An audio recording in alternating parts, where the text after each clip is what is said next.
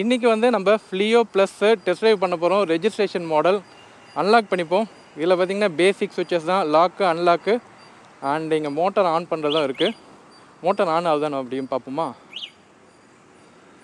Motor on ஆச்சா?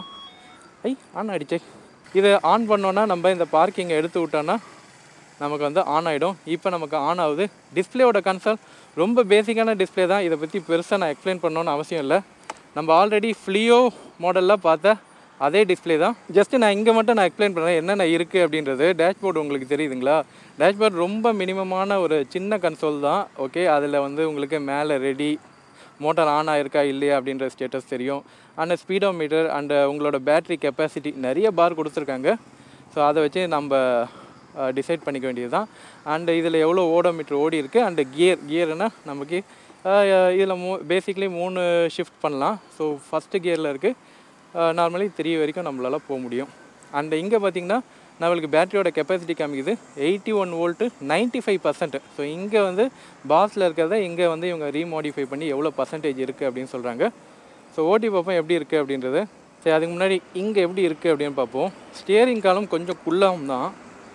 எனக்கு கால் இடிக்கும் டேர்ன் பண்ணும்போது இங்கேயுமே அண்ட் ஃபுட் போர்டுமே கொஞ்சம் ஹை ரைசிங்காக தான் இருக்குது கொஞ்சம் ரைஸ்டாக தான் இருக்குது இது நம்ம பழைய ஃப்ளியோவில் பார்த்தா அதே மாதிரி தான் இருக்குது நோ சேஞ்சஸ் அண்ட் இங்கே வந்து உங்களுக்கு வாட்டர் பாட்டில் வைக்கிறதுக்கு அண்ட் திங்ஸ் வைக்கிறதுக்கு இங்கே வந்து உங்களுக்கு ஆப்ஷன்ஸ் இருக்குது கொஞ்சம் பிக்கப்பில் டிலே இருக்குது த்ராட்டில் ரெஸ்பான்ஸுமே கொஞ்சம் ஸ்லோவாக தான் இருக்குது அந்தளவு ஸ்மூத்தாக இல்லை. அது கொஞ்சம் இவங்க ஒர்க் அவுட் பண்ணாங்கன்னா நல்லாயிருக்கும் ஸோ நார்மலி உங்களோட கான்சன்ட்ரேஷன் எல்லாமே பேட்ரி தான். அப்பா எவ்வளோ பெரிய ஸ்பீட் பிரேக்கர் பரவாயில்லைங்க இவ்வளோ பெரிய ஸ்பீட் பிரேக்கரில் கூட நாங்கள் ரெண்டு பேர் உட்காந்து போகிறோம் எதுவும் தட்டலை. அது ஒரு நல்ல விஷயம்னே சொல்லலாம். செவன்ட்டி கிலோமீட்டர் வரைக்கும் இது ஸ்பீடு போவோம். இது வந்து ரெஜிஸ்டர் மாடல் அதனால் உங்களுக்கு ஸ்பீட் நல்லா இருக்கும் அப்படின்றாங்க. பட் பேசிக்லி இது ஒரு thousand kilowatt thousand two fifty சொல்கிறாங்களா ஸோ ரேட்டட் பவருமே உங்களுக்கு ரொம்ப கம்மி தான் ரொம்ப இதில் பெர்ஃபார்மன்ஸ் எதிர்பார்க்க வேண்டாம்.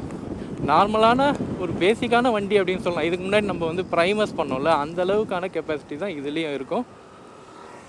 எனக்கு வண்டியோட வெயிட் வந்து எங்கேயுமே தெரியல. பட் ப்ரைமஸ் ஓட்டும்போது நல்ல வெயிட் தெரிஞ்சுது. இதில் வந்து எனக்கு வண்டியோட வெயிட் தெரில பட் ஓரளவு டீசெண்டாக இருக்குது டீசெண்டாக இருக்குது ரொம்ப பேலன்ஸ் கூட பார்த்திங்கன்னா ப்ரிட்டி டீசெண்ட் அப்படின்னு தான் சொல்லுவேன். ஓகே அப்படின்னு சொல்லலாம். ரொம்ப ஸ்டேபிள் அப்படின்னு நம்ம சொல்ல முடியாது. ஹேண்ட் பேரல் கொஞ்சம் லைட்டாக ஷேக்கியாக தான் இருக்குது கொஞ்சம் ஜாக்கிரதையாக தான் போகணும். அண்ட் இந்த ரெஸ்பான்ஸை த்ராட்டில் ரெஸ்பான்ஸ் தான் எனக்கு கொஞ்சம் இது பழகணும்னு நினைக்கிறேன். இந்த த்ராட்டில் ரெஸ்பான்ஸ் அந்தளவு எனக்கு செட் ஆகலை. ஏன்னா இதோட இங்கே ஒரு கட் ஆஃப் இருக்குது மோட்டருக்கான cut off so motor start ஆகிறதே பார்த்திங்கன்னா கொஞ்சம் டிலேடாக தான் ஸ்டார்ட் ஆகுது. ஸோ இங்கேயுமே நான் ஸ்பீட் பிரேக்கரில் ஏற்றினேன் எனக்கு வந்து கீழே எதுவும் இடிக்கலை. சரி இங்கே கொஞ்சம் காலி ரோடு கிடைக்கும். இதில் எவ்வளோ ஸ்பீட் போகுது அப்படின்னு பார்க்கலாம். ரொம்ப இன்ஸ்டண்ட்டு நான் தேர்ட் கியரில் இருக்கேன். தேர்ட் தான் லாஸ்ட் கியரு கிராஜுவலாக தான் ஸ்பீட் பிக்கப் ஆகுது. ரொம்ப அக்ரஸிவாக எதுவும் பிக்கப் ஆகல. அதனால் ஸ்பீடு வந்து கொஞ்சம் ஸ்லோவாக தான் அப்படியே வருது. இப்போ ஃபிஃப்டி ஃபோர் ஃபிஃப்டி ஃபைவ் காமிக்குது. ஃபிஃப்டி செவன் ரொம்ப ஸ்லோவாக ஏறுது. சிக்ஸ்டி வரைக்கும் ரீச் ஆகலைன்னு நினைக்கிறேன். ஓகே தட்ஸ் ஆல் இதுக்கு மேலே நம்ம ஸ்பீட் போட முடியாது. இந்த வண்டியில் ஸ்பீட் டெஸ்ட் பண்ணோம் அப்படின்னா கொஞ்சம் காலியான ரோடு இருக்கணும். ரொம்ப ஒரு ஸ்ட்ரெச் இருந்தால் தான் நம்மளால் போக முடியும். கண்டிப்பாக நம்ம இங்கே இன்ஸ்டன்ட் பிக்கப் கிடைக்கல எனக்கு. அதனால் என்னால் ஸ்பீட் காட்ட முடியாது. ஃபிஃப்டி ஃபைவ் சிக்ஸ்டி அவ்வளோதான் என்னால் மேக்ஸிமம் காட்ட முடியும் இந்த வண்டியில். ஓவர் டேக்கிங்கில் கொஞ்சம் ப்ராப்ளம் இருக்கும். சரி இந்த வண்டியோட வாரண்டியை பற்றி பேசிடுவோம். அவங்க வந்து சிக்ஸ் இயர்ஸ் கொடுக்குறாங்க பேட்ரிக்கு வாரண்ட்டி நான் கீழே போடுறேன். எவ்வளோ சிக்ஸ் இயர்ஸ் அண்ட் எவ்வளோ கிலோமீட்டர் அப்படின்றது. And three years for motor and கண்ட்ரோலருக்கு உங்களுக்கு வந்து கிடைக்கிது.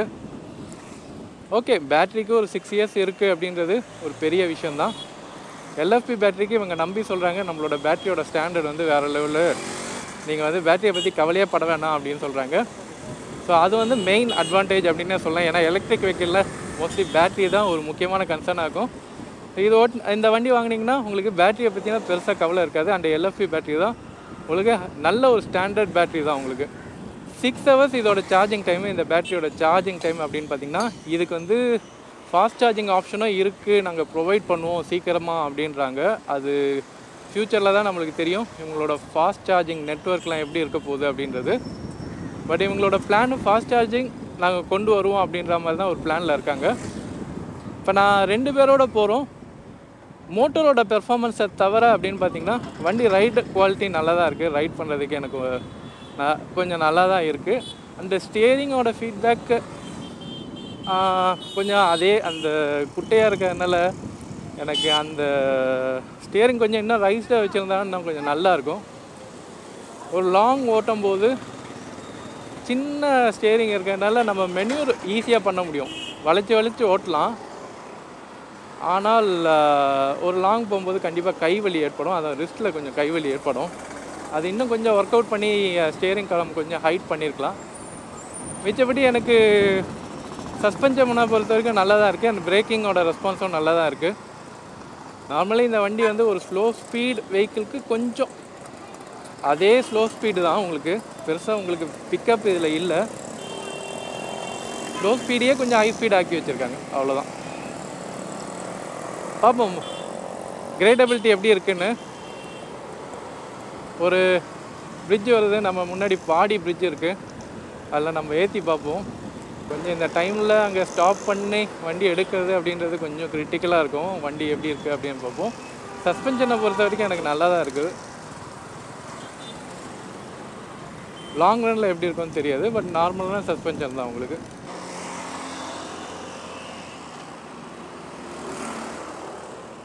எடுக்குமா ஜி? எடுக்குமா வண்டி? ஈஸியாக தான் எடுக்குது. ஃபஸ்ட் கியர்லேயே நல்லா எடுத்துருச்சு. நான் எக்ஸ்பெக்ட் பண்ணல பட் ஈஸியாக uh, தான் இருக்குது ஸோ ஸ்லோப்பில் வண்டி வந்து பின்னாடி போகுமா?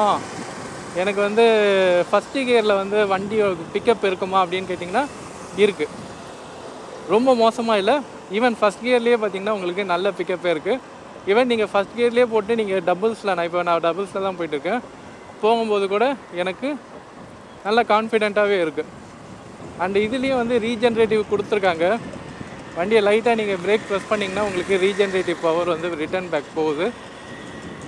அதில் கொஞ்சம் ஜர்க்கி ஃபீலிங் இருக்குது பட் ரொம்ப தெரியல. இப்போ நான் பிரேக் பிடிச்சேன்னா ரீஜென்ரேட்டிவ் நடக்கிறது என்னால் ஃபீல் பண்ண முடியுது. இதில் நம்ம இப்போ விட்டுட்டு லைட்டாக இப்போ பிரேக் பிடிச்சோன்னா கொஞ்சம் ரீஜென்ரேஷன் ஆகுது.